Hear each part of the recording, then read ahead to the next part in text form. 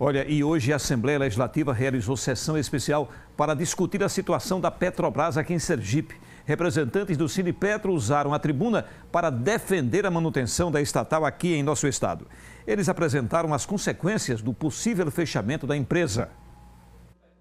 A diretoria do Sindipetro apresentou tecnicamente aos deputados o impacto social e econômico caso ocorra o fechamento da Petrobras em Sergipe com a política de desinvestimento na região nordeste do país anunciada pelo governo federal. O principal impacto é 1.200 empregos que serão perdidos aqui no estado, né? empregos diretos né? sem falar nos empregos indiretos que são gerados em toda a cadeia e toda aquela economia que gira em torno da Petrobras. Então, de imediato, isso será o principal é, efeito econômico e social que vai atingir o estado de Sergipe. A perda de 1.200 empregos diretos, diminuição do recolhimento de mais de 80 milhões de reais em royalties de petróleo no estado, perda financeira de fornecedores que atuam na indústria petrolífera e ainda o aumento dos preços dos derivados de petróleo foram os prejuízos apresentados com o possível fechamento da Petrobras em Sergipe. É preciso que a Petrobras duplique a sua capacidade de refino.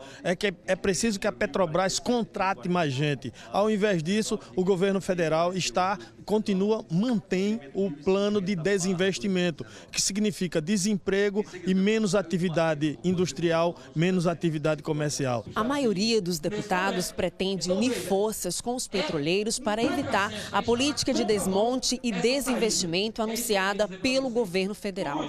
Uma das medidas que mais preocupa é a venda de todas as refinarias da Petrobras aqui na região Nordeste. Mais do que nunca a classe política sergipana, independentemente de sigla partidária, deve estar unida, tentar sensibilizar mais uma vez a Petrobras através do seu presidente, para que repense, afinal de contas, Sergipe entra agora também na era do gás, vai ser um grande né, beneficiário aqui do gás no estado de Sergipe. A gente não pode, nesse momento, perder a Petrobras. Eu sou totalmente contra a retirada da Petrobras do Nordeste.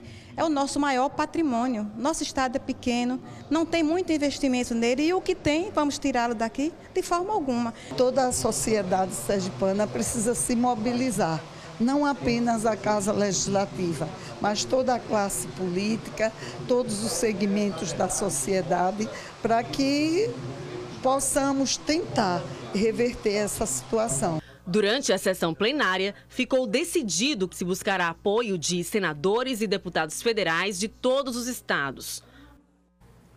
E agora